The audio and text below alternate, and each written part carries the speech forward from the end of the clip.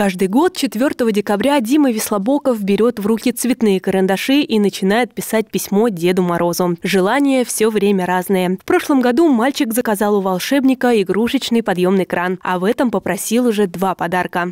Я для Деда Мороза написал два письма для себя и для сестренки Тани. Для себя написал я пожарную часть э, Лего, а, а для Тани куклу с соской. Дата для праздника выбрана не случайно. Скоро Новый год, и все в предвкушении чудес и торжества, подарков и сюрпризов. Везде идет подготовка к главной ночи. Украшаются елки, загораются праздничные огни. И 4 декабря – самое время загадывать заветные желания и писать письмо зимнему волшебнику Деду Морозу. Я жду от вас письма, и скоро я сам к вам приду.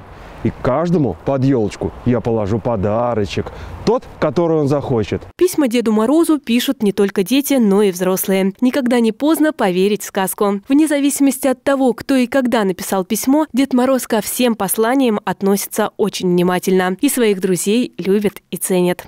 Я пожелаю вам в этот непростой год самого-самого крепкого, крепчайшего здоровья, чтобы все были здоровы, улыбались, веселились и всегда верили в чудо. Ирина Вышегородцева, Константин Островский, Сергей Рябов. Служба новостей Саров 24.